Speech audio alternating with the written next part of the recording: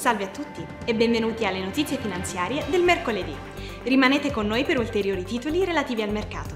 Il prezzo di Bitcoin ha recuperato il supporto di 30.000 dollari dopo aver testato per poco i 29.130 dollari il giorno precedente. Tuttavia i trader si chiedono se la ripresa sia sostenibile dato il maggiore controllo normativo, soprattutto negli Stati Uniti.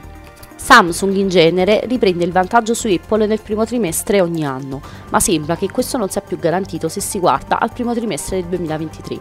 Samsung aveva una quota di mercato del 22%, con Apple subito dietro a 21%. I prezzi dell'oro sono aumentati dopo due sessioni di perdite, mentre il dollaro si è allentato, mentre gli investitori hanno cercato maggiore chiarezza sulla posizione di politica monetaria della Federal Reserve statunitense. La coppia sterlina-britannica-dollaro americano ha guadagnato lo 0,4% nell'ultima sessione.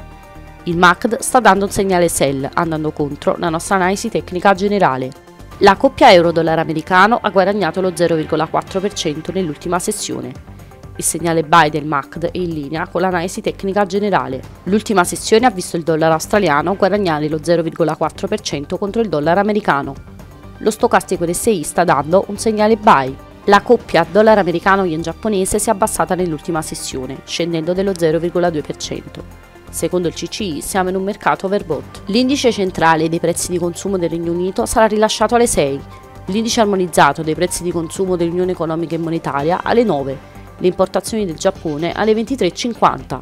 Il beige book della Federal Reserve degli Stati Uniti sarà rilasciato alle 18, l'indice dei prezzi di consumo del Regno Unito alle 6, il Westpac Leading Index dell'Australia alle 0.30. Ci auguriamo che abbiate apprezzato le prospettive di mercato del mercoledì. Ognuno di noi qui presente si auspica che il giorno di negoziazione sia per voi produttivo. Vi ricordiamo di unirvi a noi domattina per gli eventi e le notizie più recenti relativi ai mercati finanziari.